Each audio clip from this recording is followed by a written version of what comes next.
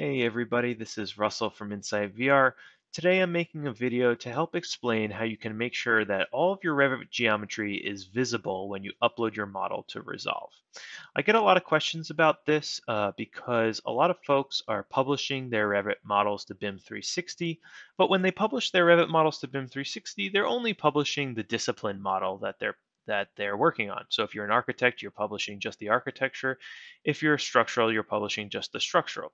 Um, and now we need to make sure that your whole model is published to BIM 360 in order for you to see everything when you open it up in VR in Resolve.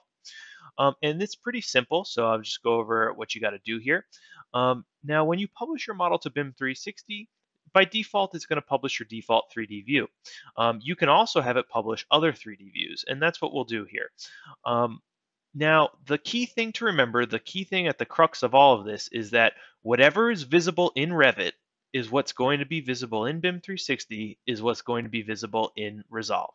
So if you want to see your whole model in Resolve, you have to see your whole model in Revit.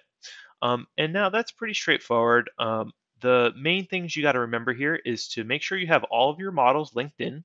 So if you go to the Manage section of Revit here, uh, and then go to Manage Links, you'll see which linked models are loaded into your Revit model. Obviously, if you need to make all the um, links visible or all the geometry visible, you need to have all of the models linked in that you want to see. So if you need structural, have structural, HVAC, and so on. Just make sure they're loaded in here. Uh, next up is just making sure that the geometry is visible here in the screen. Um, and there are lots and lots of different ways that Revit allows you to filter your uh, what's visible on your screen here. Um, I'm just going to go over one of them, which is over here in the visibility graphics settings of your 3D view. Uh, if you click Edit, uh, it will bring up uh, you know a list of different categories that you can sort by visibility. Um, here it shows that um, all structural, mechanical, electrical, and piping seems to be hidden.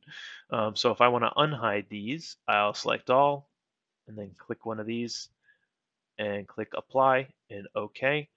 And what's going to go on here is it's going to unhide all of the structural MEP and HVAC and it should become visible here in just a moment. Give us a second. Okay, perfect. So now we have all the geometry visible here in the scene, not just the architectural model.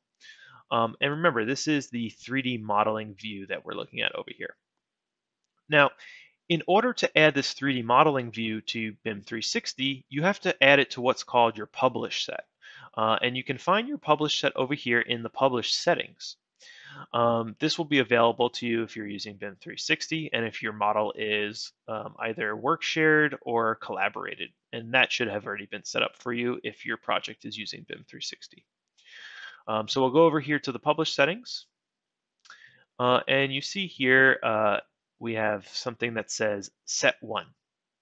Now I'm just for the sake of uh, argument here, I'm going to just create a new set called BIM 360 uh, resolve. We'll create that. Um, and now it's showing us a list of all of our 3D views. You can sort these. We can just say 3D views in this model. And that gives me a shorter list here. And now I want to select the 3D modeling view. You can add other views to this uh, BIM 360 publish set as well. Make sure you also select the set that you want to add this view to, and then click Save and Close. Now, when you go to publish your model to BIM 360, it will ask you which uh, set you want to publish. Just make sure to publish the set with the Resolve view.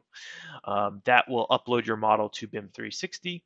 Um, and then when you link your model from BIM 360 to Resolve, it will contain all the geometry in that view. Uh, if you want to go over anything that I discussed in this video, just reach out to support at insitevr.com or reach out to your dedicated customer success, success manager, uh, and we can help you on a case-by-case basis here. Um, this was just a really brief overview to show you how you can get all of your geometry from Revit into BIM 360 and then into um, Resolve. So that's pretty much it. This is Russell from Insite VR. I'll talk to you later. Bye-bye.